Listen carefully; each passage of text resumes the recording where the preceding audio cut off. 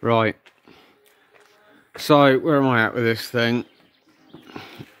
Obviously, we got to the point where it works now. Um, it's just literally refining a whole bunch of stuff on it. Um, lots and lots and lots of details to be added. Lots of them. Um, I've just been uh, been wrapping the exhaust in some of that titanium and fiberglass stuff to keep the uh, heat in the exhaust. Um, and putting a lot of captive buoyancy under the floorboard. Floorboards in it. Um, what else we got going on? Got a engine bay fan in there to go in, keep the engine temperatures down. Got the rest of this manifold to wrap as well. Going to do that. Try and do that today. Um, going to be adding a little bit more of a, sort of um, almost like a, a, skid plate under the front.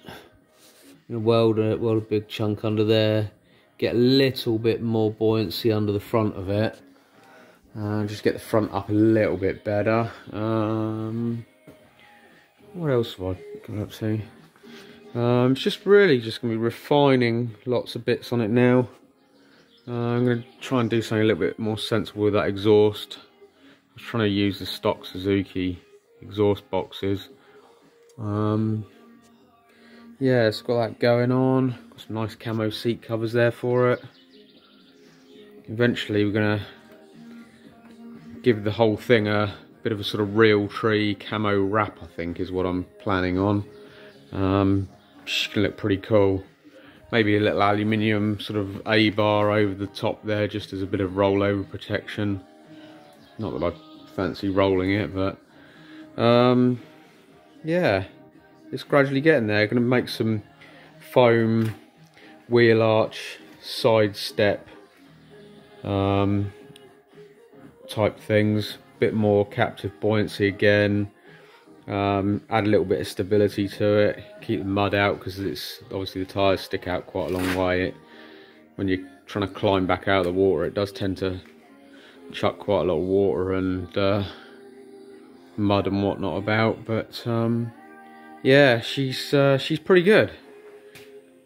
Definitely the most ambitious project I've ever taken on, and uh, yeah, looks looking good. So yeah, so just a bit more, um, bit more tweaking here and there, and gradually, gradually it's coming together. And get all the little kinks ironed out, and then uh, then we can start production. Keep watching.